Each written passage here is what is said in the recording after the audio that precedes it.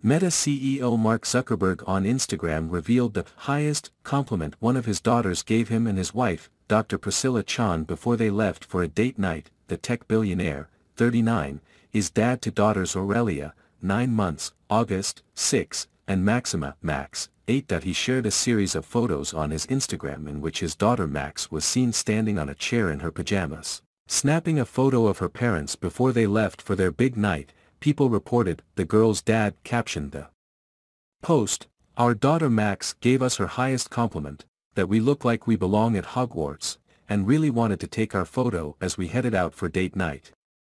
The tech mogul often gives followers a glimpse of his home life, sharing photos of his daughters. Last year, Zuckerberg celebrated his girl dad status by bringing his two older daughters to Taylor Swift's Eras tour, documenting the experience on Instagram after the concert at Levi's Stadium.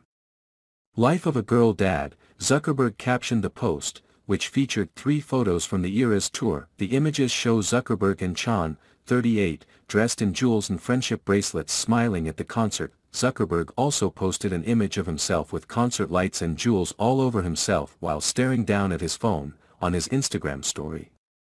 Checking 13 emails on the way to the concert, he captioned the picture.